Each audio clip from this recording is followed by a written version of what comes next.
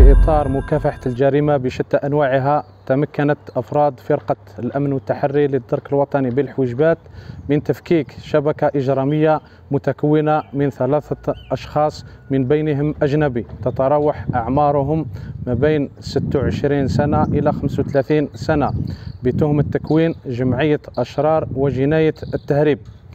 تعود وقائع القضية إلى ورود معلومات مؤكدة إلى أفراد الفرقة عن وجود سيارة مشبوهة محملة بمواد صيدلانية محظورة قادمة من قرية بوشبكة باتجاه بلدية حويجبات استغلالا للمعلومة تم وضع خطة محكمة للإطاحة بأفراد الشبكة.